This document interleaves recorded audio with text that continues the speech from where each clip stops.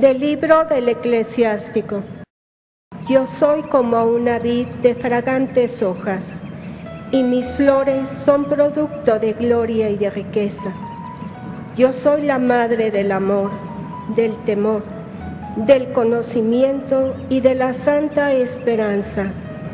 En mí está toda la gracia del camino y de la verdad, toda esperanza de vida y de virtud. Vengan a mí ustedes los que me aman y aliméntense de mis frutos, porque mis palabras son más dulces que la miel y mi heredad mejor que los panales. Los que me coman seguirán teniendo hambre de mí. Los que me beban seguirán teniendo sed de mí. Los que me escuchan no tendrán de qué avergonzarse y los que se dejan guiar por mí no pecarán.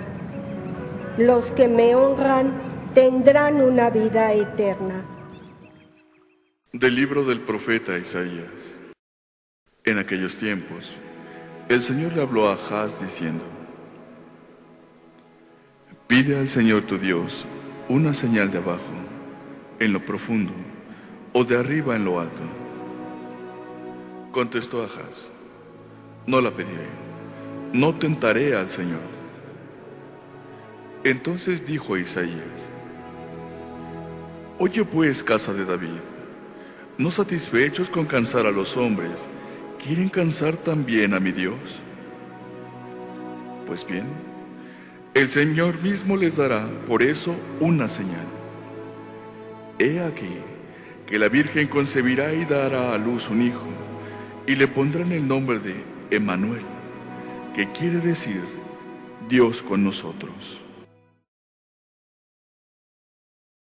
Oh Dios, que te alaben los pueblos, que todos los pueblos te alaben.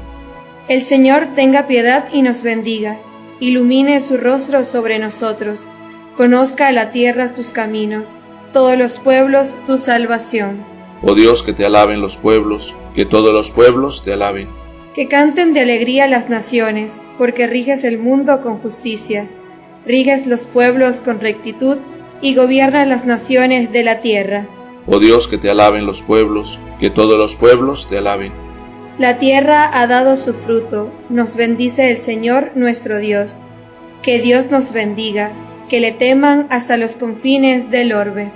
Oh Dios, que te alaben los pueblos, que todos los pueblos te alaben. Lectura de la carta del apóstol San Pablo a los Gálatas.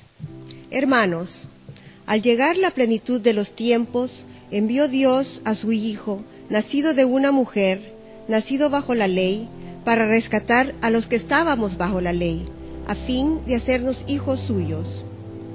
Puesto que ya son ustedes hijos, Dios envió a sus corazones el espíritu de su Hijo que clama, Abba, es decir, Padre.